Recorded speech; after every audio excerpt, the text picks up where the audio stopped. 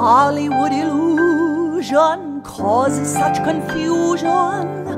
Don't ever reach the wrong conclusion.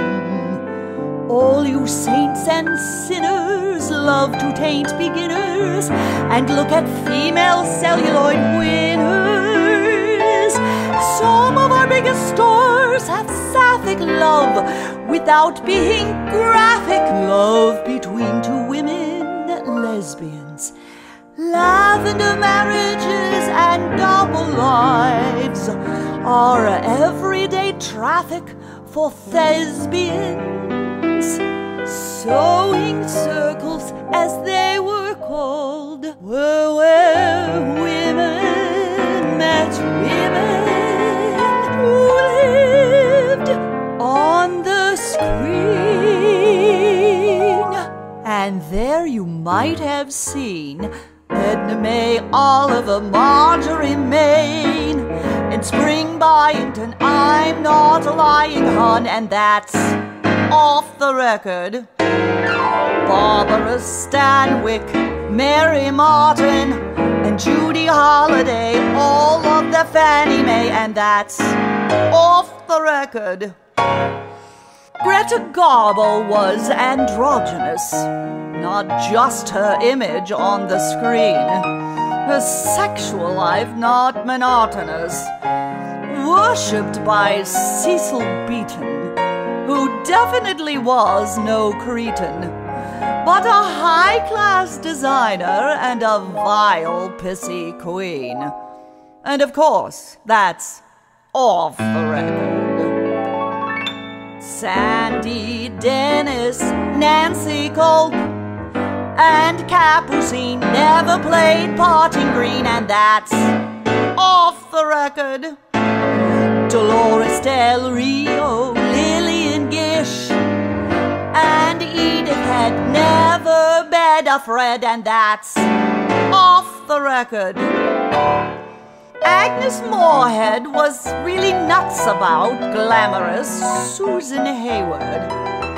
The beautiful actress wouldn't go that route, but they remained good friends.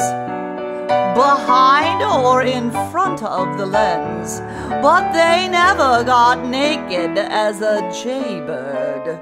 And that's definitely off the record. Judy Garland, Joan Crawford, and Myrna Loy loved both girl and boy, and that's off the record. Miss Jean Arthur, Kay Francis, and Patsy Kelly didn't need KY jelly, and that's off the record.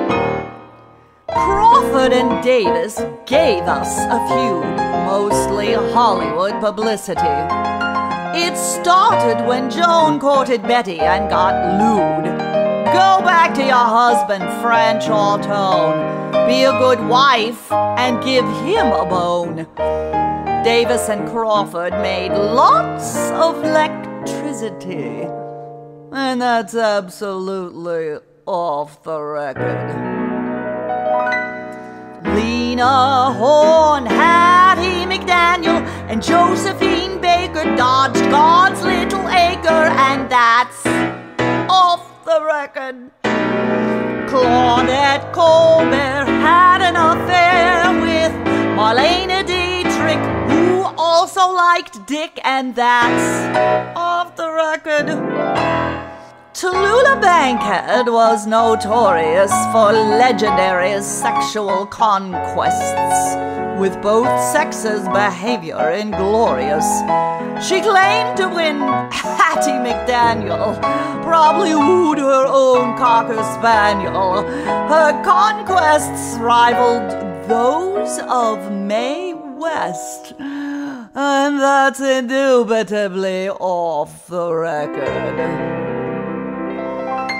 Janet Gaynor, Eve Arden, and Lynn Fontanne never a John Wayne, and that's off the record. Sybil Thorndike, Judith Anderson, and Beatrice Lillie. Oh, you know the drilly, and that's off the record. Katharine Hepburn, an arrogant bitch, has a fabulous sparkling personality. Loving a man was never her niche. Her affairs with Spencer and Howard Hughes were absolutely a studio ruse, cause her butch dyke demeanor was career fatality.